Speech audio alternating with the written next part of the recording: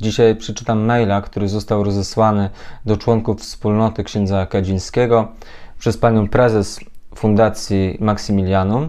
Mail został wysłany w 2017 roku. To znaczy, że tylko jedno dziecko wspólnotowe miało ukończone 10 lat. Pozostałe były młodsze, tak więc y, te sytuacje opisane tutaj dotyczą dzieci kilkuletnich. Temat: Zachowanie dzieci na zajęciach. Drodzy rodzice, chciałabym poruszyć mocno problematyczną kwestię zachowania naszych dzieci na zajęciach. Dzieci nie szanują dorosłych, nie traktują ich jako autorytetu, ignorują polecenia, odzywają się niegrzecznie, często pomijając elementarne zasady kultury. W stosunku do siebie nawzajem są złośliwi, wyśmiewają się, biją, szarpią, wyzywają. Tyczy się to oczywiście głównie chłopców, ale i dziewczynkom daleko do wzajemnej życzliwości i posłuszeństwa. Ksiądz dawno już poruszał tę kwestię w kazaniach, ale jakby bez oddolnego odzewu. Takie informacje spływają od nauczycieli praktycznie wszystkich przedmiotów, także od uczących mężczyzn, nawet od i mich, których zajęcia są dla dzieci atrakcją. Więc proszę, żebyśmy nie szukali winy w nauczycielach. To my wychowujemy te dzieci, a szacunek do drugiego człowieka, zwłaszcza starszego, jest podstawowym założeniem wychowania katolickiego. Nasze dzieci są stosunkowo małe, wychowane bez telewizji, w pełnych rodzinach, w konkretnym systemie wartości. Tym bardziej dziwią takie sytuacje, jak obrażanie się na nauczycieli, strojenie fochów, wprost odmawianie wykonywania poleceń, rzucanie się na podłogę, histerię, bezczelne odpowiedzi, mówienie na ty do nauczycieli, czy szantaże emocjonalne w stylu zabiję się, zabiję was jestem najgorszy, wszyscy mnie nienawidzą.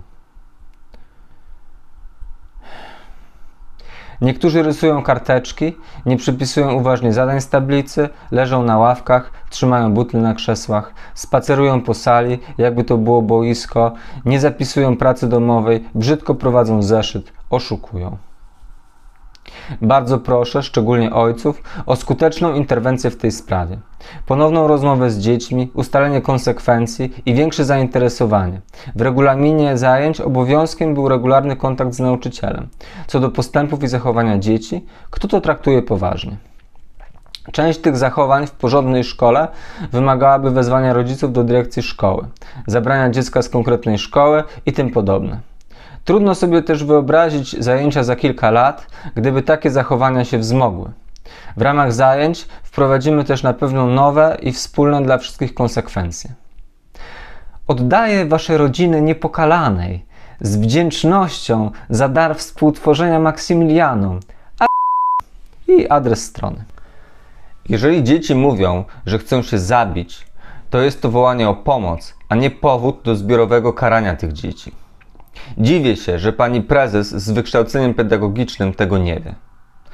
Więcej na te tematy można przeczytać w książkach Kończę z tym, dlaczego dzieci nie chcą żyć Marty Guzowskiej oraz Depresja i samobójstwa dzieci i młodzieży Joanny Hatizow.